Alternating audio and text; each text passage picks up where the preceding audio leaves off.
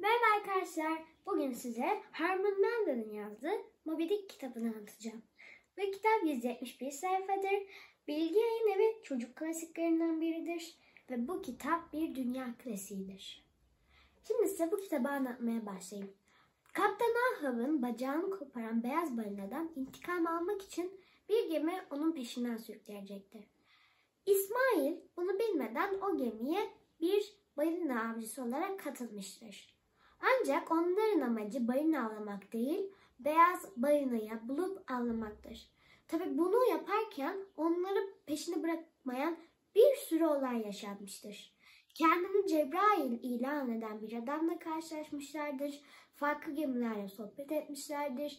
Bir sürü insan kaybetmişlerdir ve Moby Dick'le savaşmak zorunda kalmışlardır.